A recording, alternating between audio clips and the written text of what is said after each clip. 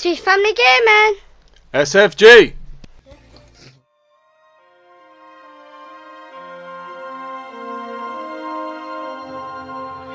Do you remember this story?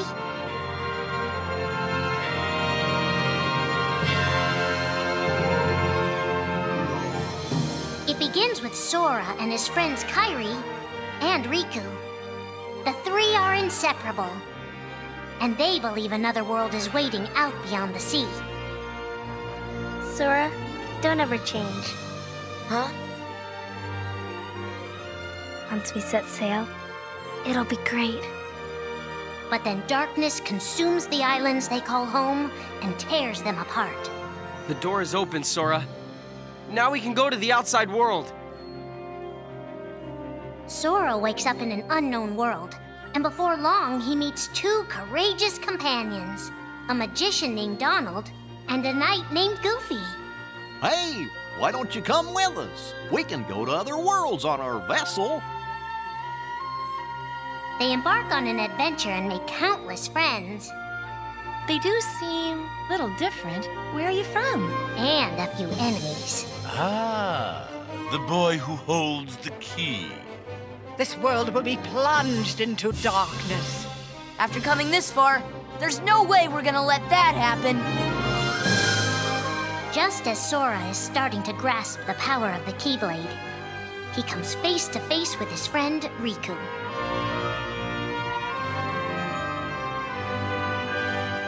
It is I, Ansem, the Seeker of Darkness.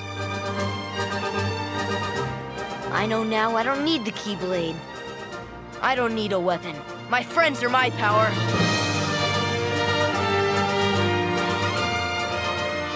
But that's just the beginning of the tale.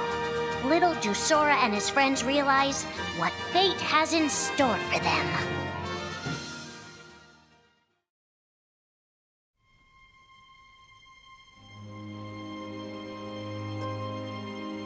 Are the memories we share with the people we love our only true connection to them? Sora, Donald, and Goofy have been searching for King Mickey and Riku. They're friends who were stranded on the other side of the door to darkness. A clue leads them to a mysterious citadel called Castle Oblivion. Riku! You mean Riku's here? Proceed, Sora. To lose and claim anew, or to claim anew only to lose. Sora is determined to press on and look for his friends. But as he climbs, his most precious memories begin to slip away. He is being tricked by Marluxia and a mysterious organization who are trying to make him their puppet. Unaware that the events of his past have been rewritten inside his mind, Sora races to the top of the castle to save a girl named Naminé. Sora, what happened to you? What's that mean? Do You want me to abandon her? But there, he learns the shocking truth. Even if you come for me, what then? If you don't stop this, no one will. Naminé has special powers. And she's the one who's been changing Sora's memory. Just make it count. The girl you've been trying to protect all this time is really a manipulative witch who shackles people's hearts. Erase my memories. Destroy my heart. I promised. I'll always protect you. You have to believe me. You turn from the truth because your heart is weak. You will never defeat me!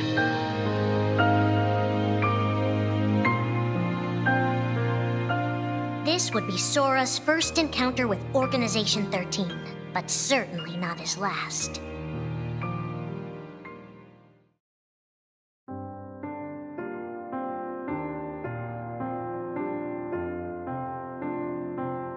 Think now for a moment about your best friend, someone you couldn't bear to lose. For the seven days since my arrival, the name Roxas, And the number 13 were all I had. His mind a blank slate, Roxas starts counting the days, determined to never forget anything again.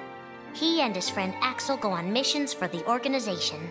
Today makes 255. It's been that many days since I first joined the organization. So, you got the number memorized, do you? They are soon joined by the group's 14th member, a girl named Xion. Like Roxas, she has no memory of her past. Let us all welcome one of the Keyblades chosen. The three have been told they don't have hearts, that they're nobodies. And yet it's strange. They start to realize how much they care about each other. Axel, does that mean you and I are friends, too? Well, if you're friends with Roxas, then yeah, of course you're my friend. If only all of this could last forever. Just give me another chance. We can't afford to take any more chances on you. You were a mistake we never should have made. Xion's darkest secret. Is it that I'm not supposed to exist? Xion is a puppet created to duplicate your powers. Is that she only exists to seize control of Sora's power, the Keyblade's power. Both of them have connections to Sora, but we only need one of them. You mean they have to destroy her? Answer me! Roxas, if somebody doesn't, then you won't be you anymore. If they really have no hearts, then why does the truth hurt this much? The grief? You can't turn on the organization. You get on their bad side and they'll destroy you. No one would miss me. That's not true. I would. The anger? Please don't hold back, Axel. Promise. What's your problem? You both think you can do whatever you want. Well, I'm sick of it. Go on, you just keep running. But I'll always be there to bring you back! The loss? You're next, Roxas. I have to make you a part of me, too. Don't you see? This is why I was created. The emptiness. See you again. I'm glad I got to meet you. Oh. And of course, Axel, too. You are both my best friends. Never forget. That's the truth.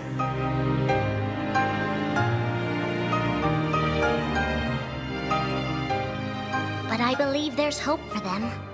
Don't you? One day they'll be together again.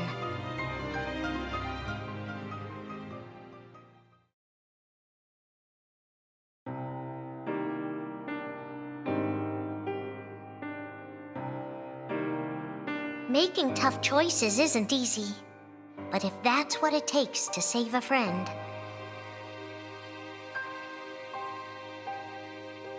Riku discovers Sora in Castle Oblivion, suspended in a deep sleep.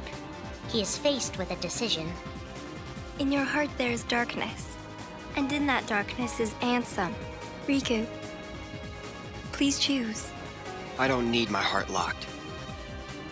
I'm ready. I'm gonna fight Ansem. You're not gonna lose. I know it. You shall sink into the abyss!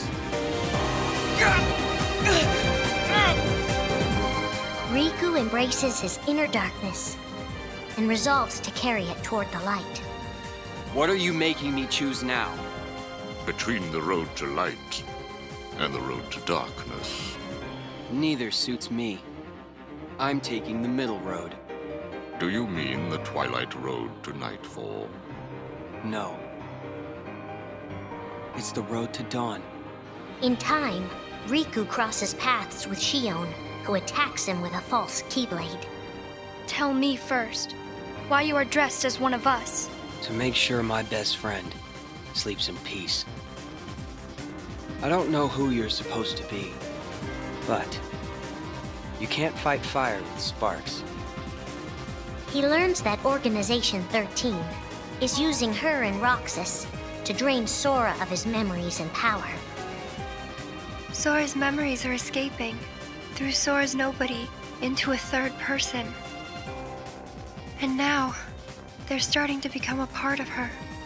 Now, Sora has been put to sleep so that we can piece together his memory. Except, You can't because part of it is inside of me. That means he can't wake up. yeah. You got it. To save his best friend, Riku prepares for the inevitable. I have to face one of the organization's members soon. I might not survive the fight. And if I do, it might be because I gave in to the darkness. And Xion chooses to do the same. I belong with Sora. And now I am going back to be with him. Riku and Roxas clash, both desperate to save a friend. Why are you trying to stop me? Because I want back the rest of Sora's memories. I'll set Kingdom Hearts free. Then everything will be the way it was. She'll come back. And the three of us can be together again. You mean Xion? It's a struggle just to remember the name now. Either way, I can't let you go doing anything crazy. Riku's overpowered and decides not to hold his darkness back any longer. You've left me with no other choice. What? I have to release the power in my heart. The dark power that I've been holding back, even if it changes me forever.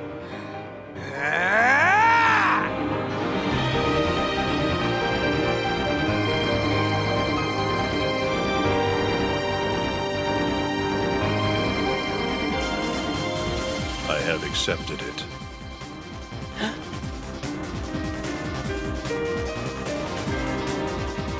Each fork in the road shapes who we are, but Riku won't look back.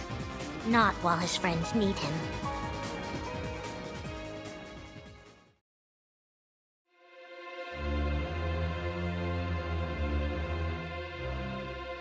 Who are we fighting?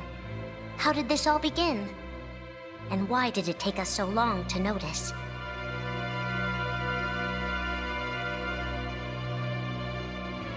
As a Keyblade Master, Xehanort had a gift like few others. Ansem. Or Xehanort. You used to be a Keyblade wielder, but darkness stole your heart, and the Keyblade with it. Twice now, Master Xehanort has sought to drag the world into a great Keyblade war between the forces of light and darkness. They say ruin brings about creation.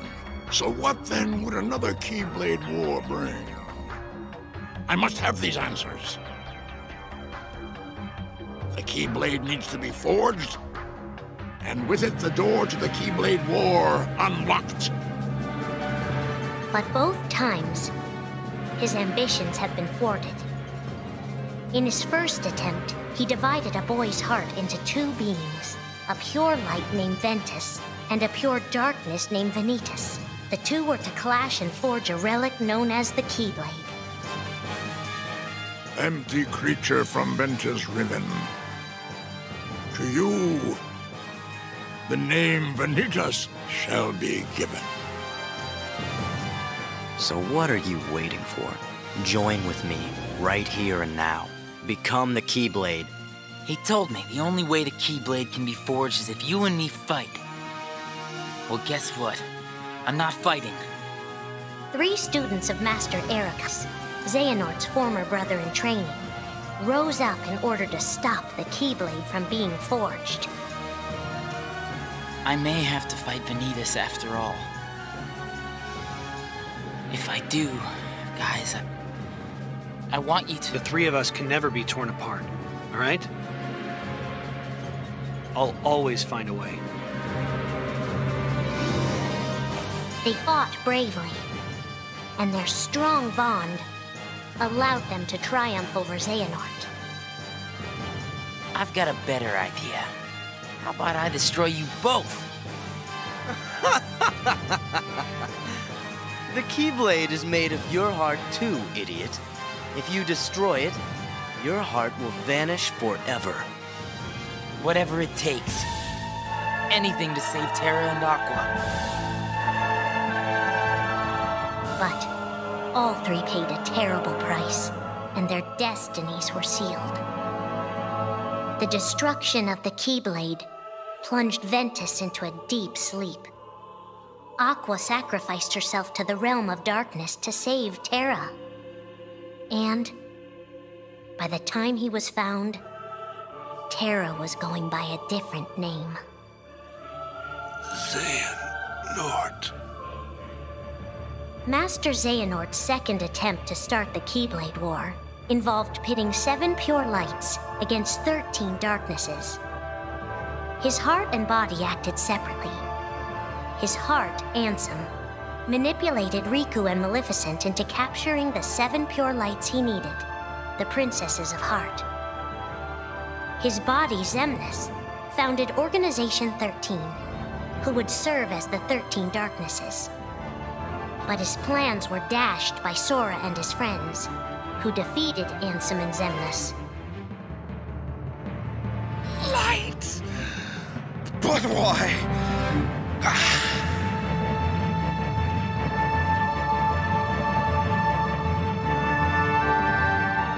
Organization 13's true goal is to divide Xehanort's heart among 13 vessels. 13? Xehanorts? What is... The real Organization 13. Now, Master Xehanort has warned of a third attempt to start his war. Huh! Master Xehanort! We were right about you!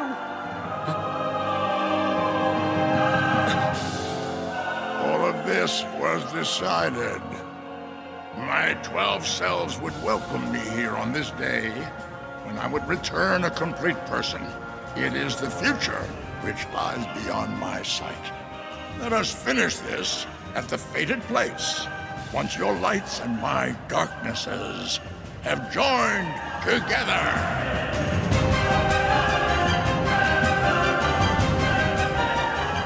Thirteen darknesses, seven lights. The end is coming.